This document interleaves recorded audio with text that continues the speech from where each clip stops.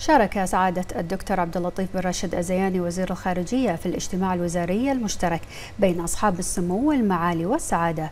وزراء الخارجية في دول مجلس التعاون لدول الخليج العربية وروسيا الاتحادية والذي عقد في مقر الأمم المتحدة بمدينة نيويورك. وترأس جانب مجلس التعاون سمو الأمير فيصل بن فرحان آل سعود وزير الخارجية بالمملكة العربية السعودية رئيس الدورة الحالية للمجلس الوزاري لمجلس التعاون.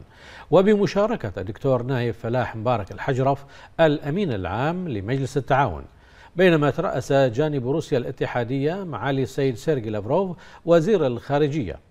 وخلال الاجتماع بحث الجانبان أوجه التعاون المشترك بين دول المجلس وروسيا الاتحادية في مختلف المجالات واستعراض أوجه تطوير العمل المشترك استنادا إلى آليات الحوار الاستراتيجي وبرنامج العمل التنفيذي الذي تم التي تم تدشينها في نوفمبر من عام 2011